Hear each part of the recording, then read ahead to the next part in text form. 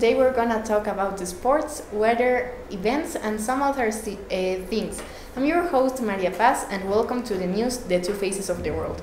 Rafa come in to talk us about the weather.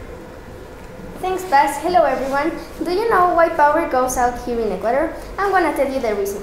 It is because here we have a dam that works with rainwater and it produces electricity to all the Ecuador.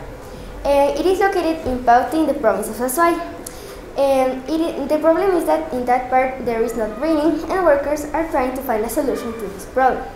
They are cutting the light for two hours between 8 a.m. and 6 p.m.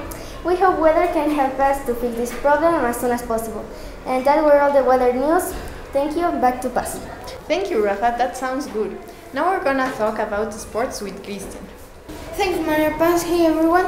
Moises Caicedo is, is one of the most important players because he um, straight your goal, straight your first goal in Chelsea, and in other news, Neymar broken his leg.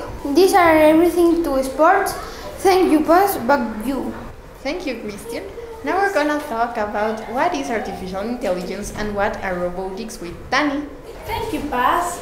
Robotics are electric things that we use in life, for example, phone, computers, iPad, etc. It is also something where we can connect to internet and navigate. Robotics are useful. Thank you, Paz. Thank you, Dani. Now we're gonna talk about the events of this school with Nati. Coming, Nati. Thank you, Paz. Hello, everyone. Today we are going to talk about the events in Tomas Moro.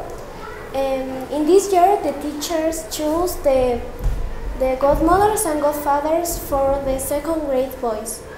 Uh, to continue in Halloween, the teachers uh, make a haunted house for the students. To finish, uh, the teachers, for December, the teacher hell is going to organize the first show of Christmas for 7th grade. Thank you, Paz. Back to you. Thank you, Nati. Um, that was all the news of the two faces of the world. Thank you for watching us. Uh, meet you tomorrow at this channel in 5 p.m. Bye.